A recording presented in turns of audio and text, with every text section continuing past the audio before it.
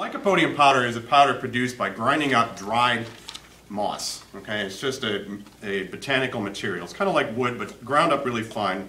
It's made of moss. And by itself, okay, you can see it's a very fine powder as, the, as it sort of disperses through the air here. Um, in a pile like this, it's not very impressively flammable. You really, you can see a little smoke here, but it really, it doesn't want to light.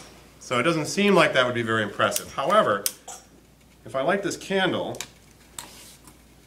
and sprinkle a little bit of it through the air, cool. you can generate a fairly impressive little fireball.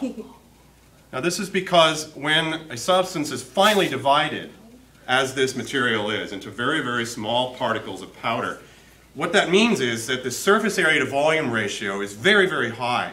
And the higher the surface area is relative to volume, the more quickly a chemical reaction will occur.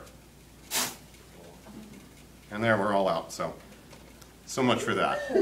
So there's another example of an exothermic reaction, something burning, in a kind of an impressive way, I suppose.